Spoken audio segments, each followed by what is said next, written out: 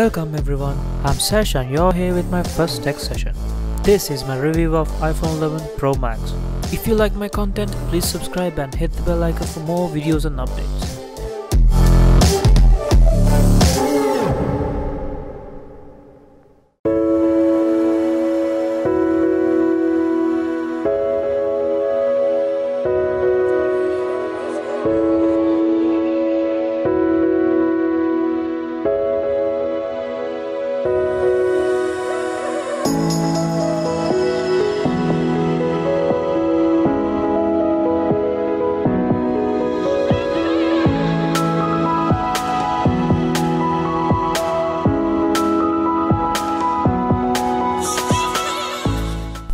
This is the new iPhone 11 Pro Max. So at first glance you would wonder what's so new about this new iPhone? Well, on the front nothing much has changed from their last series of iPhones. They're almost the same size and they look pretty much identical. But it's the back of it which has changed drastically.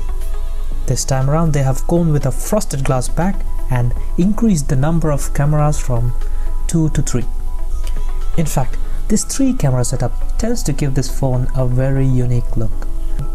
It has got a stainless steel frame and an IP68 protection with maximum depth of 4 meters up to 30 minutes which is basically twice as much as last year's edition had. Now talking about face recognition in this, with some help from iOS 13, Face ID in this is pretty impressive. It's much faster, it's more accurate, and it can recognize your face from considerably wider angles. Moving on to the display, for starters, both 11 Pro and 11 Pro Max have got an exceptional display. This Pro Max has got a 6.5 inch Super Retina XDR OLED display, which means it can effortlessly hit higher brightness levels. Apple claims that under the sunlight it can hit up to 800 nits, while watching extreme dynamic range content it can shoot up to 1200 nits. Pretty impressive. Not just that, it boasts a contrast ratio of 2 million to 1 and that means you get a larger difference between the brightest white and the darkest black the screen can produce. It's also got a pixel density of 458 ppi and that rounds up a super impressive display. In this iPhone 11 and 11 Pro series, they have moved on from 3D touch to haptic touch technology, which I think is something that some people will not be happy about. But because it's more of an OS based feature, it will get better with new iOS updates. This comes with Dolby Atmos and Dolby Digital Plus enabled sound system with stereo speakers. The sound quality is pretty good and loud as well.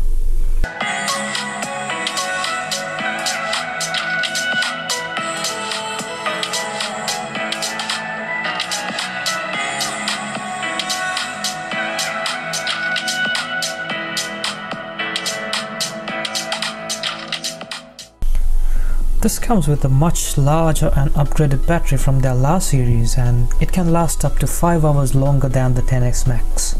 An 18 watt fast charging power adapter comes in the box with all Pro models and 11 Pro Max can hit up to 50% of charge in 35 minutes. Quite decent for a large battery such as this. Moving on. Apple brags about the new A13 processor in this new series, claiming it to be the most advanced and fastest chip to be ever used in a mobile phone. To tell you the truth, they might be onto something. The Geekbench 5 results of iPhone 11 Pros show scores of over 1300 for single core and over 3400 for multi core. This is a significant increase of scores from their last year's A12 chip, which by no means was slow. In fact, they were more powerful than all their Android counterparts, and that means this A13 chip should hit new levels of speed and power as Apple can claim. It's also got this impressive A10 fastest ever in a smartphone GPU and both this CPU and GPU can be 20% faster and they use 30 to 40% less battery than their last year's edition. Now moving on to the most anticipated part of this phone, the camera, or as Apple claimed, the Pro camera. So before I get to the back camera setup, let's talk about the front camera setup here. It has had a significant upgrade from the last year's edition because instead of a 7MP camera, now you get a 12MP camera. So with the front camera, you get two main modes as you did in iPhone 10, the normal photo mode and the portrait mode. So with the photo mode, if you want to fit in more people in your photo, you just have to hit the button of two arrows facing each other right at the bottom of your screen and boom, it will go to a much wider angle.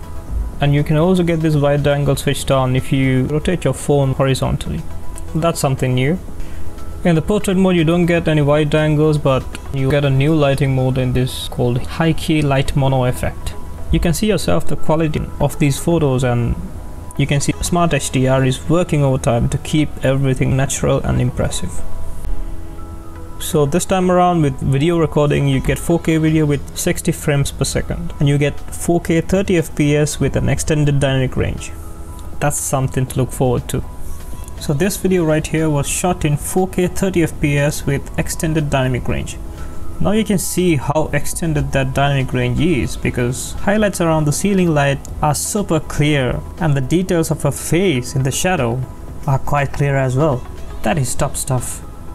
And you can see the video stabilization is pretty good as well. What you also get with this phone is front camera video recording in slow motion. As Apple would say, slofies. Now, moving on to the biggest aspect of this phone, the back camera. So with the three camera setup, you get a 26mm wide lens, 52mm telephoto lens, and for the first time ever in an iPhone, 13mm ultra wide lens. This ultra wide lens has a 120 degree field of vision and it's one of the main pros in this phone. So with these three photo modes, you can capture three different frames without having to move. So with the portrait mode you get the wide angle option but but you don't get the ultra wide option and what's also impressive with this is the night mode in a low light situation when you take a photo by default the settings for the night mode have been set to automatic but you can also adjust your night mode settings manually here you can see an example of how good it is. This photo I captured with only a small light in the corner of the room and yet it came out super super good.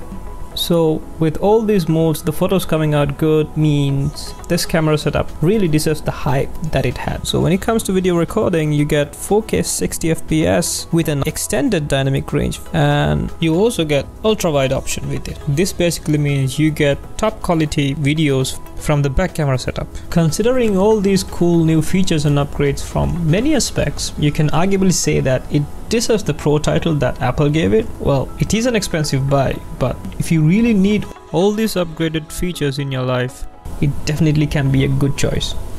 So among these cool new features, what are the features that you're really excited about? Drop a comment below. I hope this video was helpful for you. If you happen to like this, please subscribe and hit the bell icon for more videos and updates. I'll be back with another video. Till then, take care.